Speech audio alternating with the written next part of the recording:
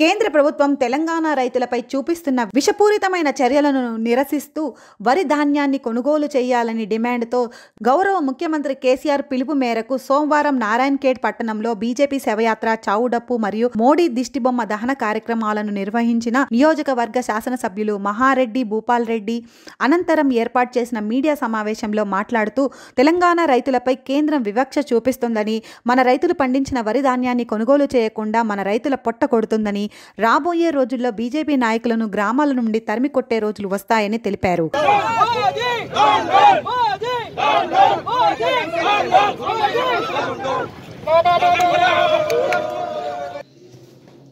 వరి పండించే రైతుల వ్యతిరేకంగా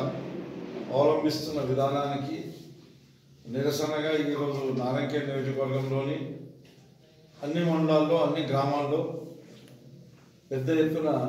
నిరసన కార్యక్రమాలు చేపట్టడం జరిగింది. కేంద్ర ప్రభుత్వ దిష్టిబొమ్మ దహనంతో పాటు కేంద్ర ప్రభుత్వానికి వ్యతిరేకంగా చావుడప్పు కార్యక్రమం కూడా ఏర్పాటు చేసి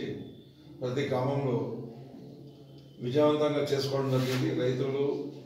టీఆర్ఎస్ పార్టీ కార్యకర్తల ఆధ్వర్యంలో ఇప్పటికైనా కేంద్ర ప్రభుత్వం రాష్ట్రంలో పండిన వరి ధాన్యాన్ని గత ఖరీఫ్ గత రబీ సీజన్ది కానీ ఈసారి వర్షాకాలంలో మనం సేకరించిన ధాన్యాన్ని మొత్తంగా కూడా కొనుగోలు చేసే కొరకని నిర్దిష్టమైన ఆదేశాలు జారీ చేయాలని చెప్పేసి నిర్దిష్టమైన ఆదేశాలు జారీ చేసి రైతులు పండించిన పంటలను కొనుక్కోవాలి. అదే మాదిరిగా యాసంగి సంబంధి సంబంధించినంత వరకు రైతులు గత్యంతరం లేక ప్రాజెక్టుల కింద చెరువుల కింద వరి తప్పిస్తే వేరే పంట పండని ప్రదేశాల్లో వరి పెట్టుకుంటే కొనుగోలు చేసే కొరకని వాళ్ళు ఉత్తర్వులు ఇవ్వాలని చెప్పేసి ఉత్తర్వులు ఇవ్వాలని చెప్పేసి కేంద్ర ప్రభుత్వాన్ని రాష్ట్ర రైతాంగం మొత్తం డిమాండ్ చేస్తుంది. రాష్ట్ర రైతాంగం మొత్తం డిమాండ్ చేస్తుంది. ఈ రాష్ట్రంలో ఉన్న బీజేపీ నాయకులు ఎవరైతే ఉన్నారో ముఖ్యంగా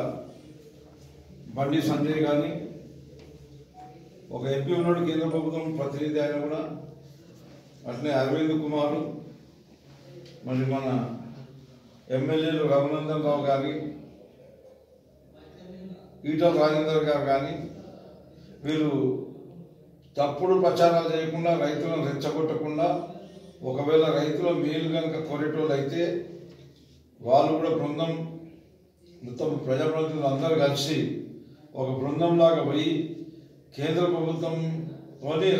రాష్ట్ర రైతాంగం తరఫున మాట్లాడి రాష్ట్ర రైతాంగం పండించిన వరి ధాన్యాన్ని మొత్తం కూడా కొనాలని చెప్పేసి ఆదేశాలు జారీ చేయాలి కానీ ఈ రకంగా రైతులను రెచ్చగొట్టకూడదని చెప్పేసి నేను వాళ్ళకి డిమాండ్ చేస్తున్నా.